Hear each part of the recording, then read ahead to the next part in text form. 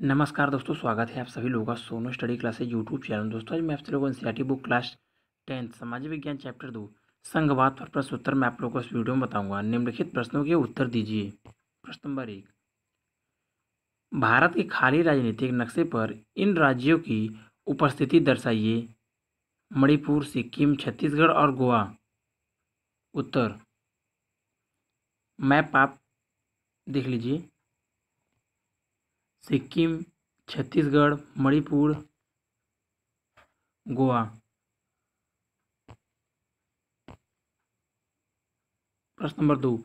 विश्व के खाली राजनीतिक मानचित्र पर भारत के अलावा संघीय शासन वाले तीन देशों की अवस्थिति बताएँ और उनके नक्शे को रंग से भरें। उत्तर, कनाडा, अमेरिका और बेल्जियम। मानचित्र आप देख लीजिए। संयुक्त राष्ट्र अमेरिका, बेल्जियम, कनाडा।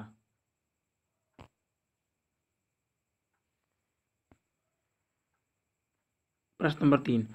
भारत की संघीय व्यवस्था में बेल्जियम से मिलती जुलती एक विशेष और उससे अलग एक विशेषता को बताएँ। उत्तर, बेल्जियम से मिलती जुलती व्यवस्था भारत में संविधान ने मौलिक रूप से दो स्तरीय शासन व्यवस्था का प्रावधान किया था। संघ सरकार द्वारा राज्य सरकारें, केंद्र सरकारें को पूरे भारतीय संघ का प्रतिनिधित्व करता था और अलग अलग राज्यों के लिए राज्य सरकारें होंगी। केंद्र और राज्यों के बीच शक्तियों का बंटवारा। संविधान में संविधान में विषयों की तीन सूचियाँ, सूचियों के द्वारा कर दिया गया। बेल्जियम में भी केंद्र और राज्य दो प्रकार की सरकारें हैं और दोनों ही अपने अपने क्षेत्र में स्वतंत्र हैं। बेल्जियम से अलग एक विशेषता, केंद्र और राज्य सरकारों के बीच सत्ता का बंटवारा हमारे संविधान की बुनियादी बात है। अधिकारों के इस बंटवारे में बदलाव करना आसान नहीं है। अकेले संसद इसमें परिवर्तन नहीं कर सकती। इसके लिए पहले संसद की दोनों सदनों को दो तिहाई बहुमत से प्रस्ताव पास होना करना होगा। फिर कम से कम आधे राज्यों की विधानसभाओं से उसे मंजूरी करवाना होगा। इसलिए इस विशेषता को कठोर संविधान कहते हैं। यह संज्ञात्मक शासन के लिए ज़रूरी है। प्रश्न नंबर चार। शासन के संघीय और एकात्मक स्वरूपों में क्या क्या मुख्य अंतर है? इसे उदाहरणों के माध्यम से स्पष्ट करें। उत्तर। क्रमशः सूची संघात्मक सरकार, एकात्मक सरकार। सूची, सरकारों का स्तर। संघात्मक शासन संघात्मक शासन में दो स्तरों वाली सरकारें काम करती हैं, केंद्र सरकार और राज्य सरकार, जैसे भारत, अमेरिका आदि में। एकांतमक सरकार, एकात्मक सरकार में एक स्तरीय सरकार होती है। यह पूरे देश के लिए कानून बनाने, लागू करने का काम करती है। जैसे ब्रिटेन और फ्रांस में एकात्मक शासन व्यवस्था है। नंबर दो, सरकारों के अधिकार। संघात्मक सरकार में दोनों प्रकार की सरकारें को अपने अधिकार संविधान द्वारा प्राप्त होते हैं, जिससे कोई सरकार दूसरी सरकार पर नियंत्रण न कर सके। एकात्मक शासन में एक ही सरकार प्रमुख होती है वह अपनी सुविधा के लिए राज्यों सर, राज्य सरकारों का निर्माण करती है किंतु उन्हें शक्तियाँ संविधान द्वारा प्राप्त नहीं होती बल्कि केंद्र सरकार उन्हें कुछ शक्तियाँ दे सकती है। नंबर तीन संविधान में संशोधन। संघात्मक शासन में संविधान से संशोधन एक जटिल प्रक्रिया द्वारा किया जाता है, जो कानून बनाने की प्रक्रिया से अलग होती है। इसके लिए केंद्र और राज्य दोनों सरकारों की सहमति आवश्यक होती है, जैसे भारत तथा अमेरिका में।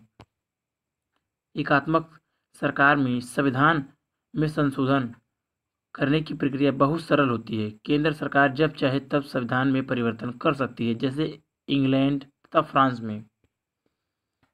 नंबर चार, नागरिकता। संघात्मक शासन वाले देशों में लोगों की दोहरी नागरिकता प्राप्त होती है। जैसे अमेरिका में रहने वाला व्यक्ति, रहने वाला कोई व्यक्ति अमेरिका का भी नागरिक होगा तथा जिस राज्य में वह रहता है, वहाँ का भी नागरिक कहलाएगा। परंतु भारतीय संघीय व्यवस्था इसका अपवाद है। यहाँ पर लोगों को दोहरी नागरिकता की जगह एक हरी नागरिकता प्राप्त है। यानी भारत का नागरिक केवल उस राज्य का नागरिक है, नहीं है, जिसमें वह रहता है।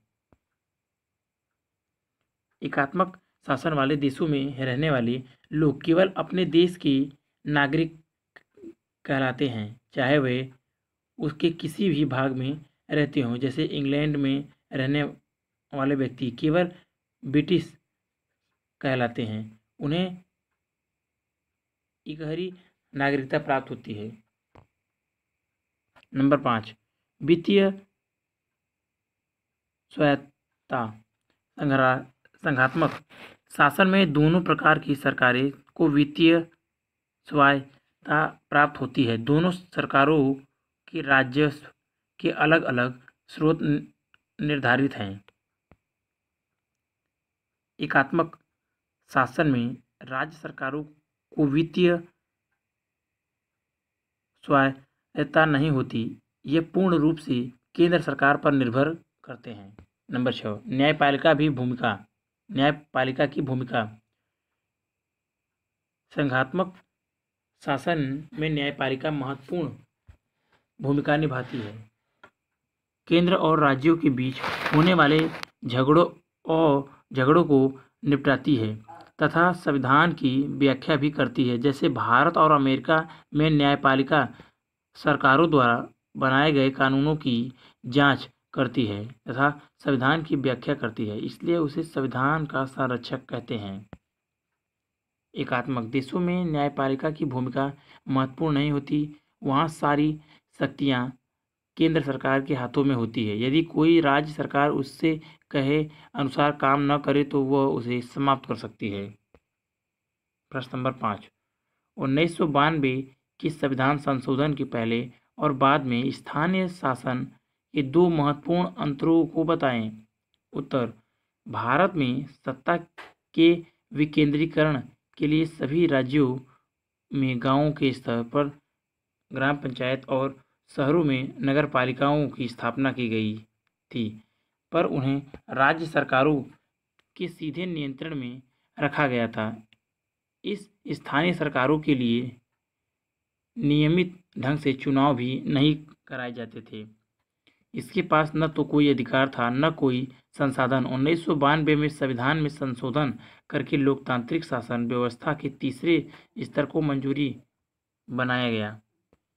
नंबर एक, जब स्थानीय स्वशासी निकायों के चुनाव नियमित रूप से कराना संवैधानिक बाध्य है।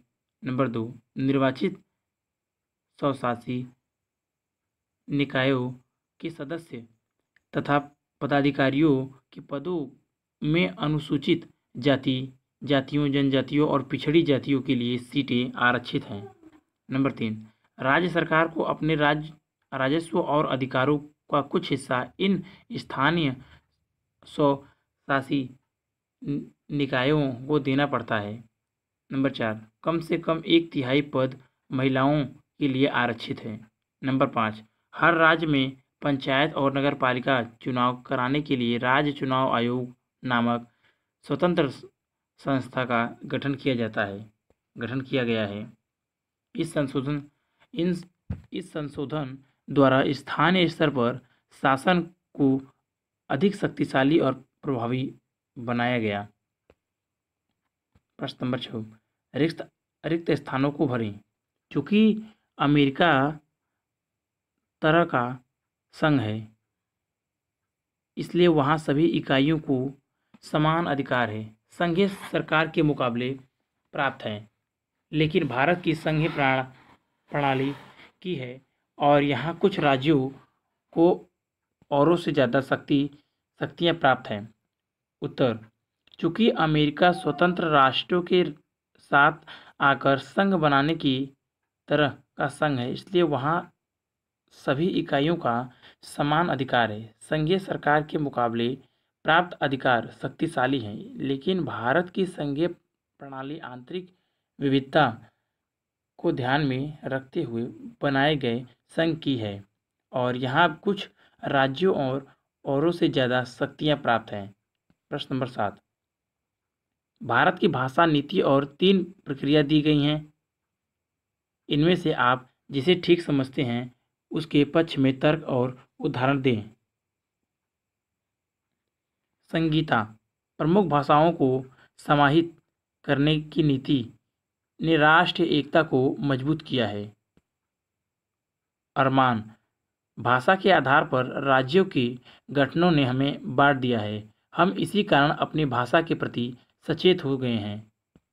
हरीश, इन नीति ने अन्य भाषाओं के ऊपर अंग्रेज़ी के प्रभुत्व को मज़बूत करने भर का काम किया है। नंबर तीन, संगीता, का भारत की भाषा नीति पर तर्क सही है? उसका कहना है कि प्रमुख भाषाओं को समाहित करने की नीति ने राष्ट्रीय एकता को मज़बूत किया है। भारत में चालीस प्रतिशत लोग हिंदी बोलते हैं। हिंदी के अतिरिक्त भी बहुत सी भाषाएँ बोली जाती हैं। यदि किसी एक भाषा को प्रमुख बना दिया जाता है तो अन्य भाषाई लोगों के सामने कई समस्याएँ खड़ी हो जाई, खड़ी हो जाती। भारतीय राजनेताओं ने सभी प्रमुख भाषाओं को समाहित करके जो लचीला रुख अपनाया, उसी से हमारे देश में शांति व व्यवस्था बनी हुई है। तथा हम श्रीलंका जैसे गृह युद्ध व अशांति की स्थिति में पहुँचने से बच चुके हैं। प्रश्न नंबर आठ। संघीय सरकार की एक विशिष्टता है। को, राष्ट्रीय सरकार अपने कुछ अधिकार प्रांतीय सरकारों को देती है। ख, अधिकार विधायिका कार्यपालिका और न्यायपालिका के बीच बढ़ जाते हैं। ग, निर्वाचित पदाधिकार ही सरकार में सर्वोच्च ताकत का उपयोग करते हैं। घ, सरकार की शक्ति शासन के विभिन्न स्तरों के बीच बढ़ जाती है। उत्तर, घ, सरकार की शक्ति शासन के विभिन्न स्तरों में, स्तरों के बीच बढ़ जाती है। प्रश्न नंबर नौ, भारतीय संविधान की विभिन्न सूचियों में दर्ज कुछ विषय यहाँ दिए गए हैं। उन्हें नीचे दी गई तालिका में संघीय रूचि, राज्य सूची और मानवती सूची वाले समूहों में लिखें। क, रक्षा, ख, पुलिस, ग, कृषि, घ, शिक्षा। अंग बैंकिंग, च, वन, छ, संचार, ज, व्यापार, झ, विवाह। संघीय सूची, राज्य सूची, समवर्ती सूची। उत्तर संघीय सूची, राज्य सूची, समूर्ति सूची। क रक्षा, ख, पुलिस, ग, घ, शिक्षा, अंग, बैंकिंग, ग, कृषि, च, वन, छ, संचार, ज, व्यापार, झ, विवाह। प्रश्न नंबर दस। नीचे भारत में शासन के विभिन्न स्तरों और उनके कानून बनाने के अधिकार क्षेत्र की जुड़े दिए गए हैं। क्षेत्र के जोड़े दिए गए हैं। इनमें से कौन सा जोड़ा सही मेल वाला नहीं है? क. राज्य सरकार, राज्य सूची। ख. केंद्र सरकार, संघीय सूची। ग. केंद्र और राज्य सरकार, समवर्ती सूची। घ. स्थानीय सरकार, अवशिष्ट अधिकार। उत्तर. घ. स्थानीय सरकार और शिष्ट अधिकार। प्रश्न नंबर ग्यारह। सूची फ़र्स्ट और सूची सेकंड में मेल, ढूंढे और नीचे दिए गए कोड के आधार पर सही उत्तर चुनें। सूची नंबर फ़र्स्ट, सूची सेकंड। सूची फ़र्स्ट, नंबर एक भारतीय संघ, नंबर दो राज्य, नंबर तीन नगर निगम, नंबर चार ग्राम पंचायत। सूची सेकंड, अ, प्रधानमंत्री व सरपंच, स, राज्यपाल, द, मेयर।